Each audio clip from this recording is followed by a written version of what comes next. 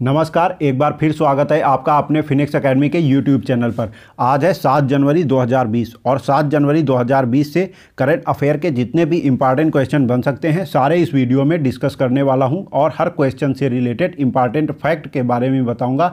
तो आप पूरा वीडियो बहुत ही ध्यान से देखिए और लास्ट में आपसे क्वेश्चन भी पूछूँगा, उसका आंसर आपको कमेंट बॉक्स में बताना है।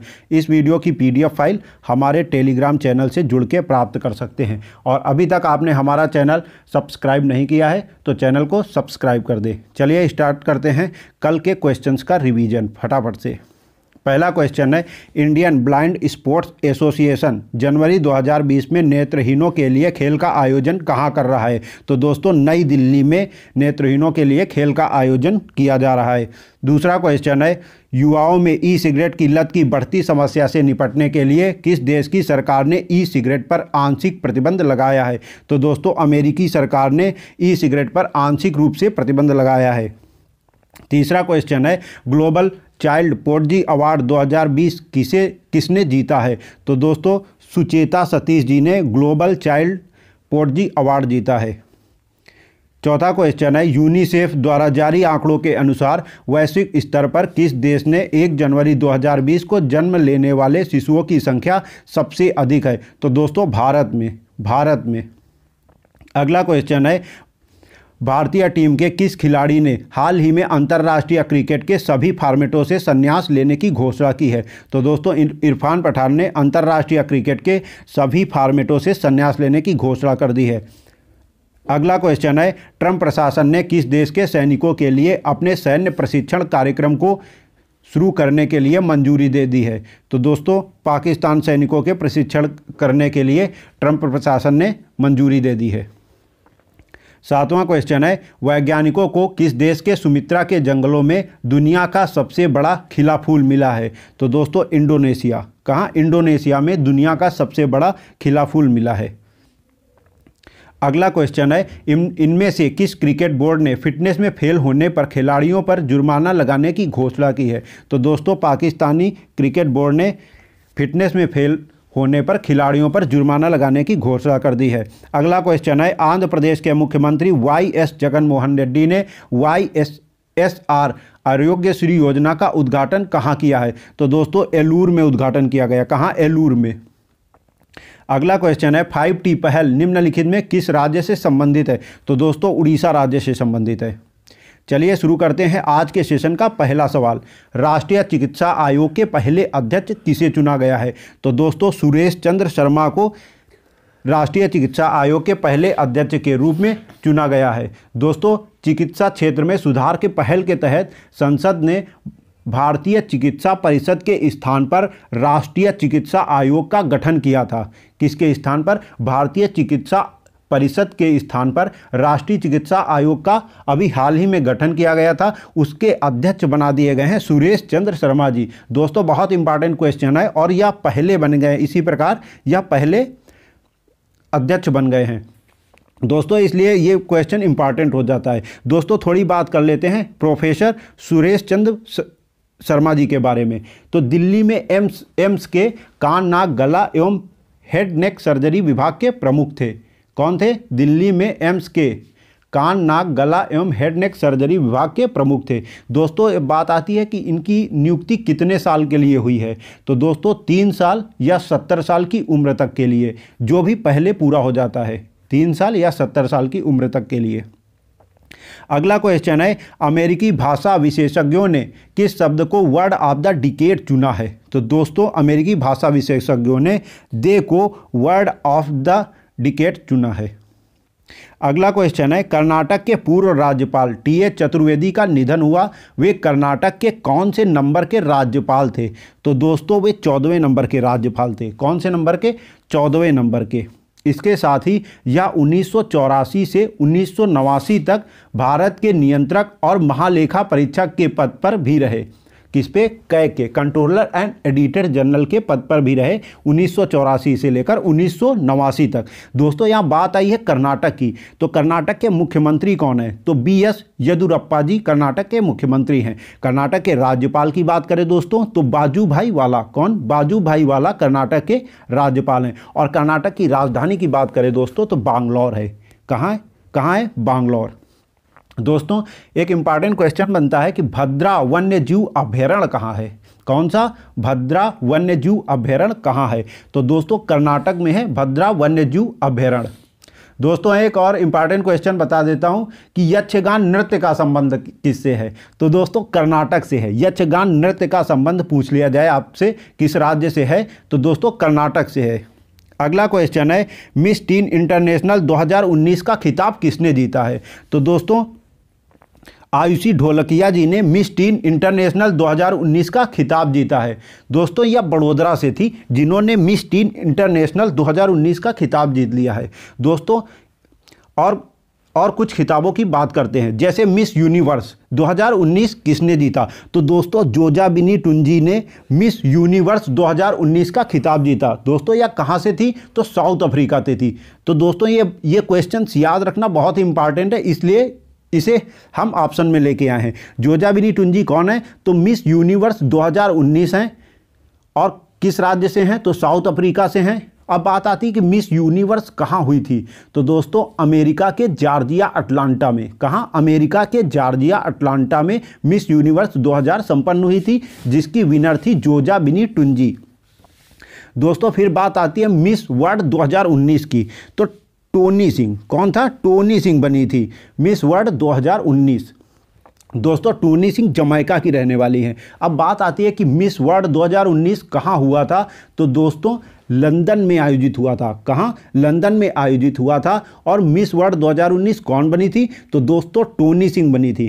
टोनी सिंह। दोस्तों, एक और इंपॉर्टेंट फैक्ट बता देता हूँ कि भारत की सुमन राव इस प्रतियोगिता में दोस्तों तीसरे नंबर पे थी। कौन से? तीसरे नंबर पर थी। मिस वर्ल्ड 2019 की प्रतियोगिता में भारत की सुमन राव तीसरे नंबर पर रही थी।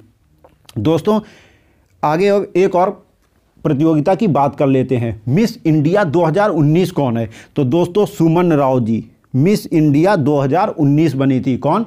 सुमन राव मिस इंडिया 2019 बनी थी। दोस्तों, मिस इंडिया 2019 कहो या फेमिना मिस इंडिया?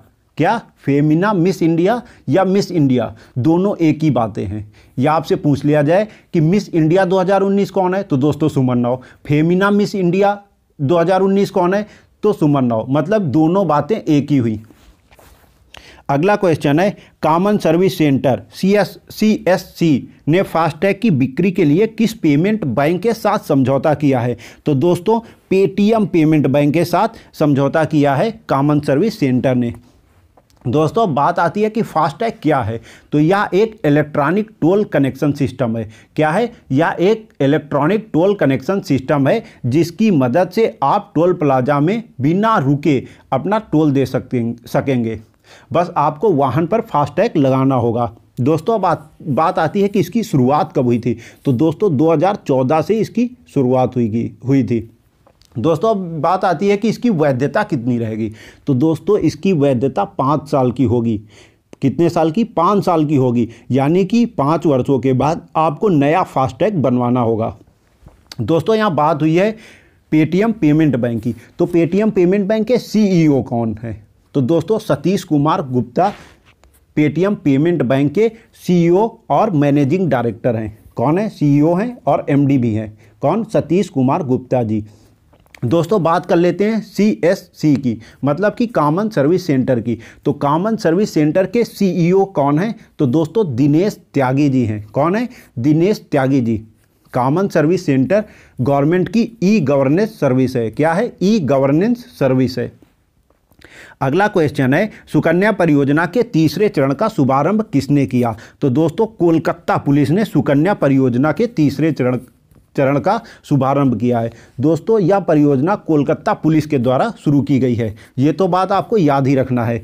और दोस्तों बात आती है कि इस परियोजना का उद्देश्य क्या है? तो शहर के स्कूलों और कॉलेजों में पढ़ने वाली लड़कियों को आत्मरक्षा प्रशिक्षण प्रदान करना। क्या है इस, इसका उद्देश्य? शहर के स्कूलों और कॉलेजों में पढ़ने वाली लड़कियों को आत्मरक्षा प्रशिक्षण प्रदान करना। दोस्तों आपको हमारा सेशन अच्छा लग रहा हो तो फटाफट से लाइक करते रहो। और वीडियो को ज़्यादा से ज़्यादा शेयर करना, क्योंकि आपके लिए बहुत मेहनत की जा रही है। दोस्तों, बात आती है पश्चिम बंगाल की। तो पश्चिम बंगाल के दोस्तों, मुख्यमंत्री कौन है? तो दोस्तों, पश्चिम बंगाल की मुख्यमंत्री है ममता बनर्जी। ममता बनर्जी से एक क्वेश्चन निकल के आता है कि पहली महिला रेल मंत्री कौन है? तो दोस्तों, पहली महिला रेल मंत्री ममता बनर्जी हैं और पश्चिम बंगाल की वर्तमान मुख्यमंत्री कौन है? तो दोस्तों, ममता बनर्जी हैं।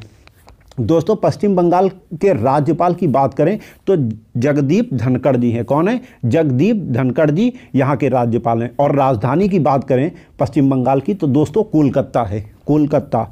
दोस्तों, कोलकाता को सिटी ऑफ़ जॉय के नाम से जाना जाता है। किसके नाम से? सिटी ऑफ़ जॉय के नाम से कोलकाता को जाना जाता है। इसके साथ ही दोस्तों कल्चरल कैपिटल ऑफ़ इंडिया के नाम से भी जानते हैं। किसके नाम से? कल्चरल कैपिटल ऑफ़ इंडिया मतलब कि भारत की सांस्कृतिक राजधानी के रूप में कोलकाता को दोस्तों जाना जाता है। अगला क्वेश्चन है, तिरसठवें, राष्ट्रीय निशानेबाजी चैंपियनशिप में सौरभ चौधरी ने कौन सा मेडल जीता? तो दोस्तों, इन्होंने गोल्ड मेडल जीत के झंडे गाड़ दिए हैं। तो इन्होंने क्या जीत लिया है? Gold medal. दोस्तों, इन्होंने कौन सी प्रतिस्पर्धा में जीता है? अब बात यहाँ ये आती है। तो पुरुषों की 10 मीटर एयर पिस्टल प्रतिस्पर्धा में इन्होंने स्वर्ण पदक जीता है। किसमें? पुरुषों की 10 मीटर एयर पिस्टल प्रतिस्पर्धा में इन्होंने ये मेडल जीता है। दोस्तों, यहाँ बात आती है कि दूसरे स्थान पर कौन रहा है। तो दूसरों, दूसरे स्थान पर रहे हैं हरियाणा के सबरजोत सिंह। कौन? हरियाणा के सबरजोत सिंह दूसरे स्थान पर रहे हैं। अब दोस्तों मेन फैक्ट की बात आती है कि तिरसठवें राष्ट्रीय निशानेबाजी चैंपियनशिप हुई कहाँ? तो दोस्तों यह मध्य प्रदेश के भोपाल में संपन्न हुई कहाँ? मध्य प्रदेश के भोपाल में। दो, दोनों क्वेश्चन आपको याद रखने हैं कि इन्होंने क्या जीता? तो 10 मीटर एयर पिस्टल प्रतिस्पर्धा में इन्होंने स्वर्ण पदक जीता। और दूसरी बात आपसे पूछ ली जाए कि तिरसठवीं राष्ट्रीय निशानेबाजी चैंपियनशिप हुई कहाँ थी? तो दोस्तों, मध्य प्रदेश के भोपाल में हुई थी। दोस्तों, यहाँ बात आई है मध्य प्रदेश की। तो मध्य प्रदेश के सीएम कौन है? दोस्तों, कमलनाथ जी हैं। आपको बिल्कुल याद रखना है ये चीज़ें। और मध्य प्रदेश के राज्यपाल की बात करें, दोस्तों, लालजी टंडन जी यहाँ के राज्यपाल हैं। और मध्य प्रदेश की राजधानी की बात करें तो सबको पता है, दोस्तों, भोपाल है। क्या भोपाल? दोस्तों, एक इंपॉर्टेंट क्वेश्चन यहाँ से बन जाता है कि सोया प्रदेश के नाम से किसे जाना जाता है? तो दोस्तों, मध्य प्रदेश को जाना जाता है। गलत मत करना। सोया प्रदेश के नाम से किसे जाना जाता है? तो दोस्तों, मध्य प्रदेश के नाम से जाना जाता है। दोस्तों लाइक करते रहो फटाफट से। अगला क्वेश्चन है, हाल ही में किस योजना के तहत फर्जीवाड़े करने के आरोप में 171 अस्पतालों को पैनल से बाहर कर दिया गया है? तो दोस्तों, आयुष्मान भारत स्वास्थ्य बीमा योजना योजना में फर्जीवाड़े के आरोप में 171 अस्पतालों को पैनल से बाहर कर दिया गया है। किस कि, कितने अस्पतालों को? 171 अस्पतालों को बाहर कर दिया गया है। दोस्तों बात कर लेते हैं आयुष्मान भारत स्वास्थ्य बीमा योजना की। तो इसकी दोस्तों शुरुआत कब हुई थी? तो दोस्तों याद रखना 2018 में आयुष्मान भारत स्वास्थ्य बीमा योजना की शुरुआत हुई थी। इंपॉर्टेंट है 2018 याद रखना दोस्तों इसमें क्या होगा? तो इसमें होता क्या है दोस्तों? इसमें गरीब परिवारों को सालाना पाँच लाख रुपए तक स्वास्थ्य बीमा कवर उपलब्ध कराया जाता है। कितने रुपए का? सालाना की बात कर रहा हूँ मैं। सालाना पाँच लाख रुपए तक का स्वास्थ्य बीमा कवर उपलब्ध कराया जाता है। अगला क्वेश्चन है, इनमें से किस राज्य सरकार ने अरुण जेटली की जयंती को प्रतिवर्ष राजकीय समारोह के रूप में मनाने की घोषणा की है? तो दोस्तों, बिहार सरकार ने अरुण जेटली जी की जयंती को प्रतिवर्ष राजकीय समारोह के रूप में मनाने की घोषणा की है। दोस्तों, बात करते हैं अरुण जेटली की। तो ये पूर्व केंद्रीय वित्त मंत्री थे कौन? पूर्व केंद्रीय वित्त मंत्री थे। और यह मनाया कब जाएगा? तो दोस्तों, प्रत्येक वर्ष 28 दिसंबर को इनकी जयंती के दिन पर राजकीय समारोह के रूप में मनाया जाएगा। दोस्तों, बात करते हैं बिहार की। तो बिहार के मुख्यमंत्री कौन है दोस्तों? बिहार के मुख्यमंत्री दोस्तों नीतीश कुमार जी हैं। कौन है? नीतीश कुमार जी। और बिहार के राज्यपाल की बात करें दोस्तों तो फागू चौहान जी हैं। कौन? फागू चौहान जी। और बिहार की राजधानी की राजधानी की बात करें तो दोस्तों पटना इसकी राजधानी है। क्या पटना? याद रखना, क्योंकि चीज़ें बहुत इंपॉर्टेंट है ये सब। अगला क्वेश्चन है एस सौम्या को हाल ही में किस पुरस्कार से सम्मानित किया गया? दोस्तों, बहुत इंपॉर्टेंट क्वेश्चन है। एस सौम्या को संगीत कला निधि पुरस्कार से सम्मानित किया गया। किस किस पुरस्कार से? संगीत कला निधि पुरस्कार से सम्मानित किया गया। दोस्तों, अब बात आती है कि संगीत कलानिधि पुरस्कार दिया क्यों जाता है? तो यह कर्नाटक संगीत से जुड़े साहित्यकारों को दिया जाता है। किसे? कर्नाटक साहित्य से जुड़े संगीतकारों को दिया जाता है। और इसे इस पुरस्कार को देता कौन है? तो मद्रास साहित्य अकेदमी द्वारा यह पुरस्कार दिया जाता है। किसके द्वारा? मद्रास साहित्य अकेदमी के द्वारा यह पुरस्कार दिया जाता है। दोस्तों, इस इस पुरस्कार की शुरुआत कब हुई थी? तो दोस्तों, मद्रास साहित्य अकेदमी की शुरुआत हुई थी 1942 से। कब 1942 से इस पुरस्कार की शुरुआत हुई थी। दोस्तों, अब आपको पता हो गया होगा कि एस सौम्या जी कौन है। तो एस सौम्या जी कर्नाटक संगीत शैली की प्रसिद्ध गायिका है। कौन है? एस सौम्या कर्नाटक संगीत शैली की प्रसिद्ध गायिका हैं। अगला क्वेश्चन है, वर्ष 2020 के पहले cinema award show Golden Globe का आयोजन किस शहर में किया गया? तो दोस्तों बेवरली हिल्स में किया गया। या कहाँ है? तो कार्नोफोलिया में है। कहाँ है? कार्निफोलिया में बेवरली हिल्स है। दोस्तों, कल आपसे पूछा गया था कि निम्न में किस राज्य सरकार ने नई खेल नीति 2020 तैयार करते हुए खिलाड़ियों के वेतन, पेंशन और तीन नए अवार्डों की घोषणा की है। तो दोस्तों, बहुत से कमेंट आए और सभी सभी कमेंट ऑलमोस्ट सही हैं। और तो इसका सही ऑप्शन क्या है? ऑप्शन डी, हिमाचल प्रदेश ने नई खेल नीति 2020 तैयार करते हुए खिलाड़ियों के वेतन, पेंशन और तीन नए अवार्डों की घोषणा की है। आज का सवाल है, जोरेन जियो ने अपना इस्तीफा सौंप दिया, वह किस देश के प्रधानमंत्री थे?